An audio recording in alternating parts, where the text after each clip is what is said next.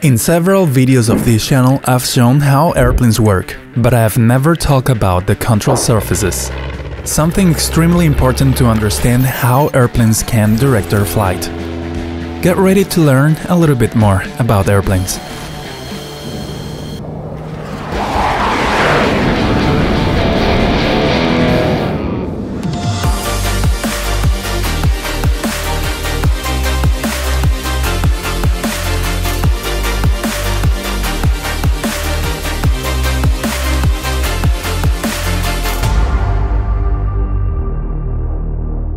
Take only 4 seconds to subscribe to this channel and enable notifications. Okay, let's start now. The control surfaces comprise all the aerodynamic parts of an airplane that are used to steer the aircraft during the flight. They are divided into primary and secondary control surfaces. There are different types of control surfaces and mechanisms to maintain control of an aircraft in flight efficiently. The efficiency range of an aircraft changes depending on its speed. The primary control surfaces are responsible for directing the aircraft. These are the elevator, to rise and lower the aircraft, moving the plane in its transverse axis. The rudder, to control the yaw, moving the plane in its vertical or yaw axis.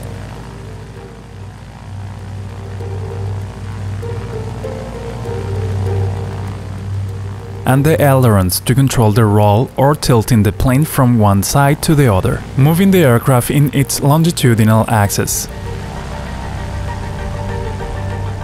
In case it is not clear to you, we'll review the axis of the airplane with this three-dimensional model. This is the transverse axis, the longitudinal axis, and the vertical axis and the primary control surfaces are the elevator, the rudder, and the ailerons. Note that these axes converge at a specific point, and this is the point of the aircraft we call the center of gravity. It is the point where the aircraft is in balance. There is also the aerodynamic center point, but we can talk about that in another video. Then we have the secondary control surfaces responsible for modifying the lift that the wings generate or simply modifying the aerodynamics of the aircraft in other less conventional ways, by either reducing or increasing lift as well as the aerodynamic drag. Among them, the flaps. These are similar to the ailerons but they are closer to the fuselage and they have the task of generating more lift and reduce the speed at the same time. Depending on how much is the angle of inclination of the flaps, they can slow down the airplane even more or simply generate a little more lift during takeoff. There are other more specialized surfaces, such as slats and Krueger flaps. These are used especially in large commercial airplanes and fighter jets. This is an extension in the leading edge that increases the curvature and wing area, increasing its lift at low speeds. The slats are usually deployed together with the flaps. The slats are not normally used in small commercial airplanes nor radio control airplanes, but of course it is possible to use them, only that it's not usually necessary. Finally, there are the spoilers and air brakes. These are used in commercial airplanes as well, and also in gliders to reduce the lift on the wings and slow down the aircraft at the same time. These are used in the landing process or after landing. Fighter jets can use similar devices, which can also be called air brake. To control the flight of an aircraft, the control surfaces have to generate controlled imbalances in the aerodynamic forces acting on an airplane. That way, we tilt the aircraft in its different axes to achieve the desired maneuver. Helicopters use their blades as the same control surfaces as their angle of attack can be modified depending on their position in the path of their rotation, individually. That way they have the ultimate control.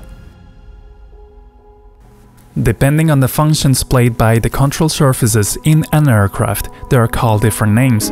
For example, in a flying wing there is no tail, and it only has two control surfaces. They work as ailerons but also as elevator. The functions are mixed in the same control surfaces, and in that case they are not longer called ailerons, but elevons. The same goes to ailerons that also performs the function of flaps.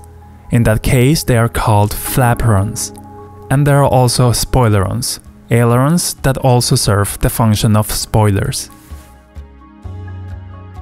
Trim tabs are also found in full-size airplanes. These are also part of the control surfaces and their task is to neutralize the position of the control surface depending on several factors of the airplane like its balance and if it's taking off or landing. Since the aerodynamic effects changes during takeoff and also the balance is affected by the amount of fuel or weight shifting inside the airplane. Trim tabs or trimming in general helps neutralizing the control surfaces to its new neutral point so the pilot doesn't have to be correcting the airplane constantly. Now let's talk about how you control the control surfaces or the airplane in general. Normally you will find a control stick or a yoke similar to a steering wheel. These are going to control the primary control surfaces. The control system could be as simple as using wires to pull all the control surfaces, or more complex using electronic controlled motors or hydraulic systems.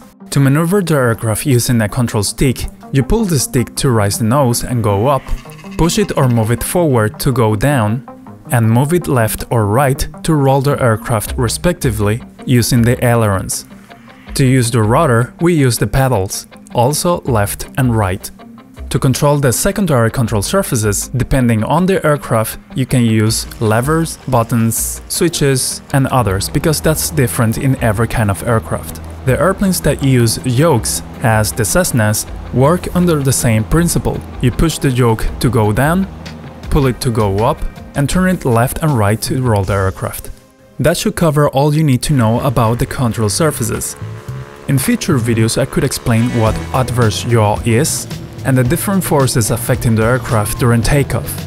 If you'd love to see those videos, let me know in the comments below and subscribe so you don't miss it. For now I hope you enjoyed and learned a lot in this video, and I'll see you in the next video.